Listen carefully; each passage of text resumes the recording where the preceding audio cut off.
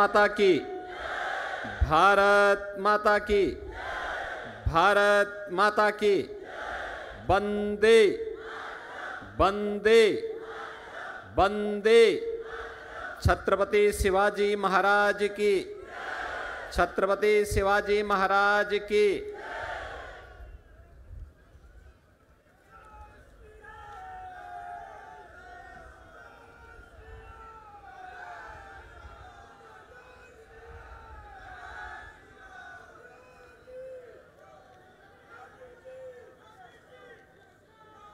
लोकसभा चुनाव 2024 के प्रथम चरण के मतदान के लिए आयोजित आज की सभा में इस पार्लियामेंट्री कॉन्स्टिट्युएंसी के खासदार भारतीय जनता पार्टी और सहयोगी दलों के प्रत्याशी श्री रामदास तड़स जी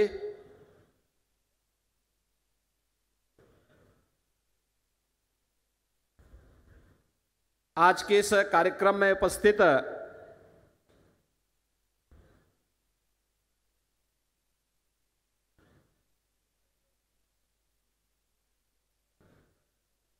महाराष्ट्र सरकार के मंत्री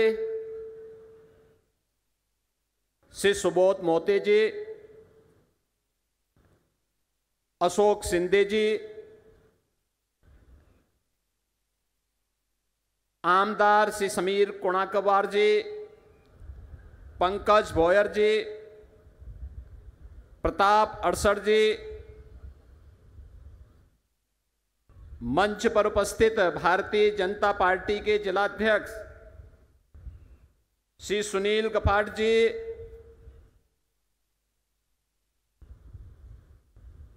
प्रदेश सचिव सरताताई लोकसभा प्रमुख और अन्य भारतीय जनता पार्टी और सहयोगी दलों के सभी हमारे पदाधिकारीगण, भारी संख्या में इस हिंगन घाट नगरी में पधारे उपस्थित बहनों और भाइयों, महान संत भोजाजी महाराज की इस पावन धरा को नमन करते हुए मैं आप सबका हृदय से अभिनंदन करता हूँ। बहनों और भाइयों, कल से नौ संवत्सर प्रारंभ हो रहा है। भारतीय नौ वर्ष गुड़ी पाड़वा का पावन त्यौहार। मैं आप सबको इस पर्व की हृदय से बधाई देता हूँ, अपनी शुभकामनाएँ देता हूँ।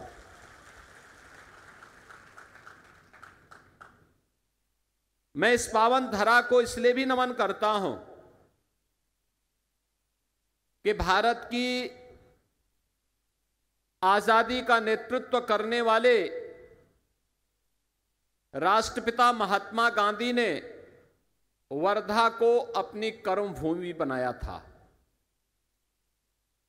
और यहाँ के माध्यम से उस समय उन्होंने देश के अंदर विदेशी हुकूमत को, उसकी चूलों को हिलाने के लिए जो अभियान प्रारंभ किया था वह अभियान महाराष्ट्र की राष्ट्रवादी जनता ने हाथों हाथ लेकर के भारत की स्वाधीनता को एक नई ऊंचाइयाँ प्रदान करने में अपना योगदान दिया था। बहनों और भाइयों 2024 लोकसभा का चुनाव चल रहा है। 19 अप्रैल को पहले चरण का मतदान होना है। मैं उत्तर प्रदेश से आया हूँ। 80 लोकसभा सीट हैं उत्तर प्रदेश में। सातों चरणों में चुनाव होने लेकिन हम आश्वस्त हैं उत्तर प्रदेश में, और कल मैं राजस्थान में था, राजस्थान में भी यही आश्वस्ति का भाव है। उत्तर हो, दक्षिण हो, पूरब हो, पश्चिम हो, पूरे देश के अंदर एक ही भाव है।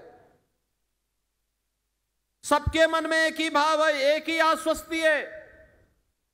और संभवतः आज़ादी के बाद पहला जनरल इलेक्शन है, जिसके परिणाम के बारे में भी जनता जनार्दन पहले से अवगत है। और वह परिणाम के बारे में अवगत है कि आएँगे तो मोदी ही। आएँगे तो मोदी जी ही। जनता इस बात के लिए आश्वस्त है। मैंने इसलिए भी कहा कि मैं उत्तर प्रदेश से आया हूँ। एक छोटी सी घटना मैं आपको बताता हूँ। उत्तर प्रदेश में होली का पर्व बड़े धूमधाम से मनाया जाता है। बहुत धूमधाम से मनाया जाता है। और हम लोगों ने वृंदावन, मथुरा को होली के लिए रंगोत्सव के रूप में चिन्हित किया। हमारा रंगोत्सव का आयोजन वहाँ होता है, लेकिन आयोजन तो हर जगह होता है। होली के पर्व पर इससे पहले गाना गाया जाता था वहाँ पे, और खासतौर पर हमारे ईस्टर्न यूपी में कि होली खेले रघुबीरा अवध में होली खेले रघुवीरा। यानी इसका आशय था कि अयोध्या में प्रभु रामलला होली खेल रहे हैं और लोग झूमते थे, पूरा गाने के साथ झूमते थे, गाँव के गाँव। लेकिन बहनों और भाइयों 500 वर्षों से अयोध्या में रामलला को किसी ने होली खेलते हुए नहीं देखा। पहली बार अयोध्या में रामलला ने होली के आयोजन के साथ जुड़ करके पूरे भारतवासियों को नए भारत का दर्शन कराया है। और इसीलिए तो मैं आश्वस्त हूँ कि अयोध्या में अगर रामलला 500 वर्षों के बाद फिर से विराजमान हो सकते हैं, कोई कारण नहीं। कि मोदी जी ने 10 वर्ष में भारत को जो पहचान दी है, जो सम्मान दिलाया है, जो सुरक्षा दी है, जो समृद्धि दी है, गरीब कल्याण के जो कार्यक्रम किए हैं, इन सबको ध्यान में रखते हुए मैं विश्वास के साथ कह सकता हूँ कि फिर से आएँगे तो बहन और भाइयों, ये जो परिवर्तन देश के अंदर दिखाई दे रहा है, दुनिया के अंदर दिखाई दे रहा है, आज भारत के पासपोर्ट की कीमत बढ़ी है दुनिया के अंदर।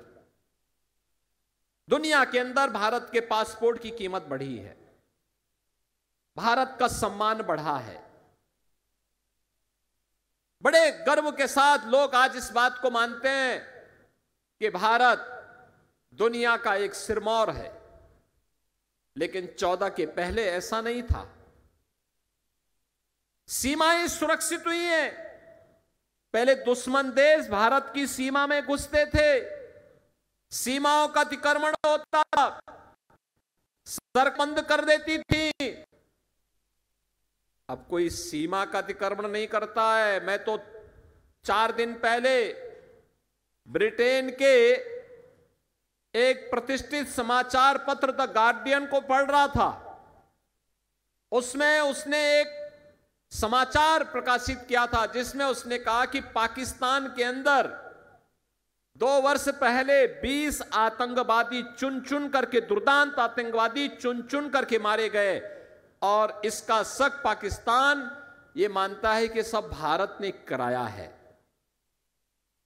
यानी इसका मतलब जिस पाकिस्तान में मुंबई विस्फोट के अपराधी वे आतंकवादी छुपे हुए हो, उस पाकिस्तान में भी अब आतंकवादी सुरक्षित नहीं है। अब दुनिया भी इस बात को स्वीकार करने लग गई है।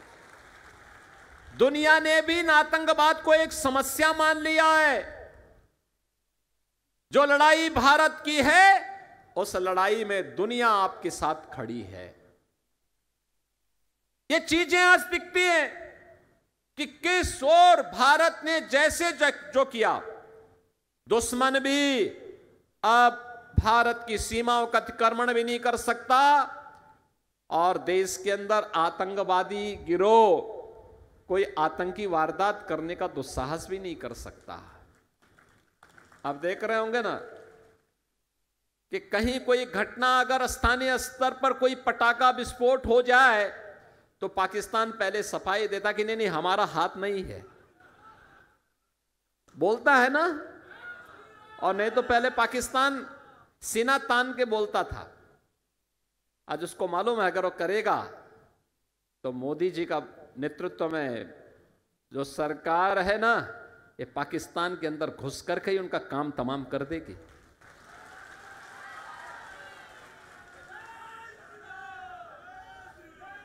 और भारत के अंदर आतंकवाद की जो सबसे बड़ी जड़ थी, वो थी कश्मीर में धारा 370 हम एक ही नारा लगाते थे ना, एक देश में दो प्रधान, दो विधान और दो निशान नहीं चलेंगे। नहीं चलेंगे। जहाँ हुए बलिदान मुखर्जी व कश्मीर हमारा है। यही तो नारा लगता था।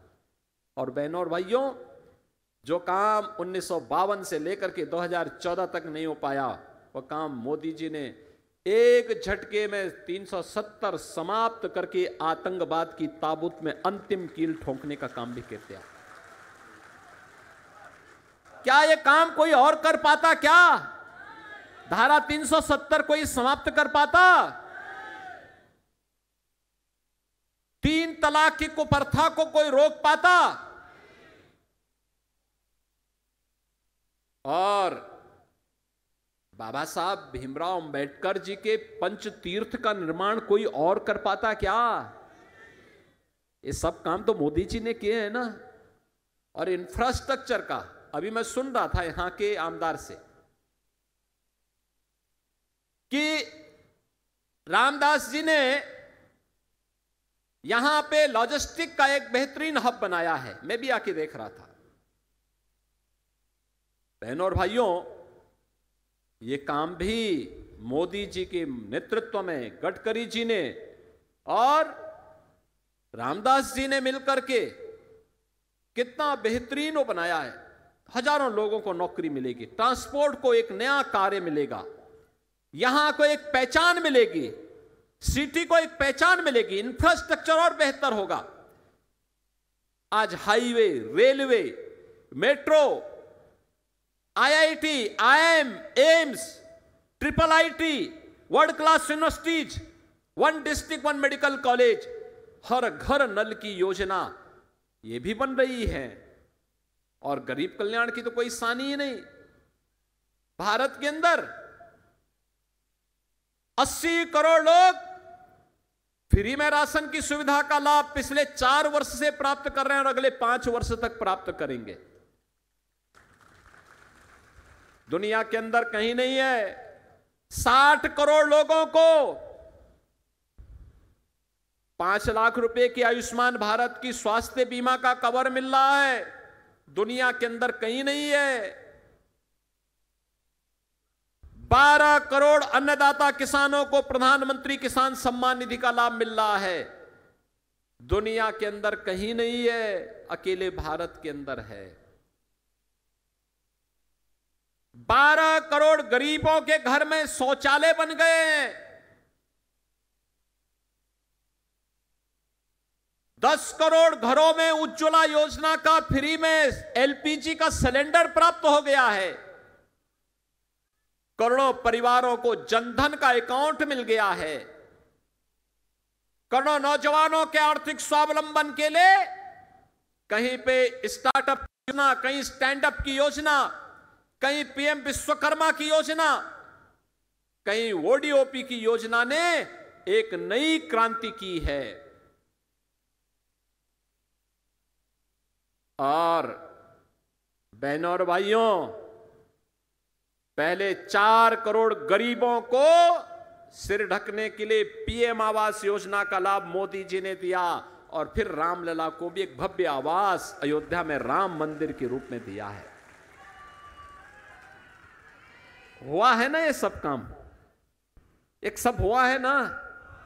आप मुझे बताओ, क्या ये तीन तलाक को कांग्रेस के लोग समाप्त कर पाते? और ये सपना तो सरदेव बाला साहब ठाकरे जी का भी था। था ना?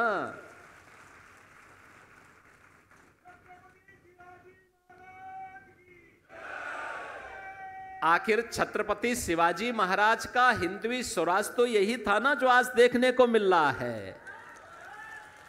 यही तो था कि हमारा अपना शासन होगा, भारत का अपना शासन होगा, भारत के आराध्य देवों का सम्मान होगा, भारत की बेटियों को सुरक्षा प्राप्त होगी, भारत की सीमा को भारत को समृद्धि की नई ऊंचाई तक पहुँचाने का काम करेंगे। यही तो कहा था। और उसी भाव के साथ आज मोदी जी काम कर रहे हैं।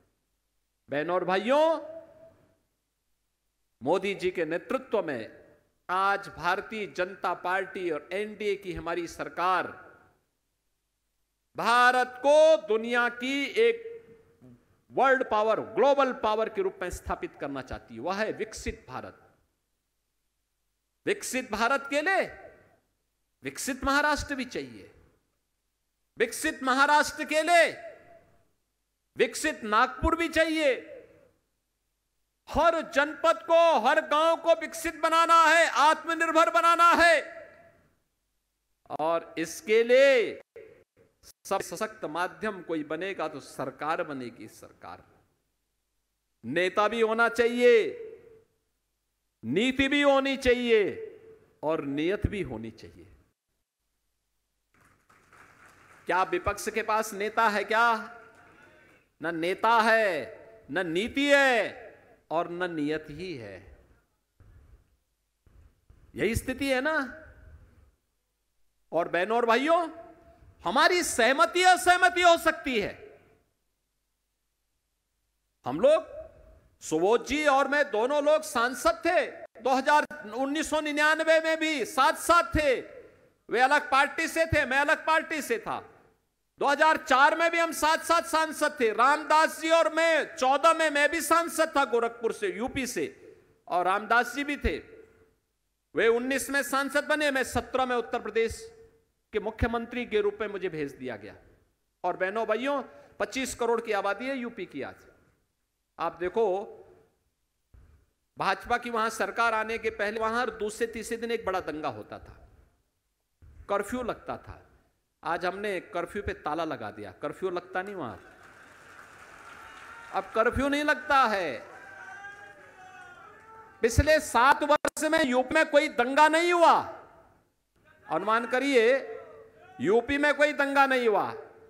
यहाँ पे तो आपने देखा ना, हमारे तीन संतों की हत्या कर दी गई थी। पालघर में और यूपी में कोई नहीं कर सकता, उसको मालूम है, कोई करेगा उल्टा टांग देंगे उसको। बहनों और भाइयों 25 करोड़ की आबादी है और कोई कर्फ्यू नहीं। धूम धड़ाके के साथ कावड़ यात्रा निकलती है वहाँ पे शिव भक्तों की। करोड़ों लोग भाग लेते हैं। कुंभ में करोड़ों लोग भाग लेते हैं। और यही नहीं, अयोध्या धाम में इस समय रामलला का दर्शन करने के लिए लाखों श्रद्धालु प्रतिदिन आ रहा है। कहीं कोई संकट नहीं। और इसीलिए बहनों और भाइयों, में आया हूँ। देश की जो आवाज़ है, राष्ट्र की आवाज़ को महाराष्ट्र की आवाज़ के साथ जुड़ जाना चाहिए। दोनों आवाज़ एक होनी चाहिए। छत्रपति शिवाजी महाराज का तो यही सपना था उस सपने को साकार करने के लिए यही हमारा हिंदवी स्वराज है। हमारा हर भारतवासी सुरक्षित होगा। हम सुरक्षित भी होंगे और समृद्धि की नई ऊंचाई को भी प्राप्त करेंगे और उसी को प्राप्त करने के लिए आज 2024 एक अवसर फिर से हमारे पास आया है। देश की आवाज़ एक ही है, फिर एक बार फिर एक बार मोदी सरकार, फिर एक बार मोदी सरकार। और अब की बार 400 पार। तो 400 पार के लिए महाराष्ट्र की सभी सीटों पर भारतीय जनता पार्टी, शिवसेना और एनसीपी इन तीनों का जो एक गठबंधन है, इस गठबंधन को एनडीए गठबंधन के प्रत्याशियों को जीतना होगा। उस आपका आशीर्वाद मिलना होगा। भारतीय जनता पार्टी ने आपके जो वर्तमान में खासदार हैं श्री रामदास जी तरस, इनको फिर से प्रत्याशी बनाकर के आपके बीच उतारा है। और बहनों और भाइयों, चुनाव के दौरान यह मानना कि प्रत्याशी घर घर आए, ये कठिन होता है। आप सबको रामदास स्वयं बनना पड़ेगा। चुनाव तक 19 अप्रैल तक। बनेंगे? 26 26 अप्रैल तक बनेंगे? तो बनना पड़ेगा। घर घर जाइए। एक एक वोट को। भारतीय जनता पार्टी और सहयोगी दलों के साथ मिलकर के एनडीए के प्रत्याशी को विजयी बनाने के लिए आप सबको लगना पड़ेगा। और इसके लिए आज मैं आपके पास आया हूँ, उत्तर प्रदेश से, विशेष रूप से आया हूँ। सभी लोग सहमत है ना? अच्छा मुझे बताओ, अयोध्या में रामलला के विराजमान होने के बाद अयोध्या कोई दर्शन करने के लिए गया? काफ़ी बड़ी संख्या में गया, लेकिन बहने नहीं गई हैं, आप लोग चले गए हैं। अब चुनाव के बाद उनको भी दर्शन करने के लिए लेके आ जाना। मुझे पहले से सूचना दे देना। वहाँ चिंता की कोई बात नहीं। उत्तर प्रदेश तो अब ऐसे लगता है जैसे प्रभु राम का त्रेतायुग का प्रदेश फिर से आ गया हो। और ये काम केवल भाजपा कर सकती है बहनों और भाइयों, और इसीलिए मैं आपके पास आया हूँ आपसे।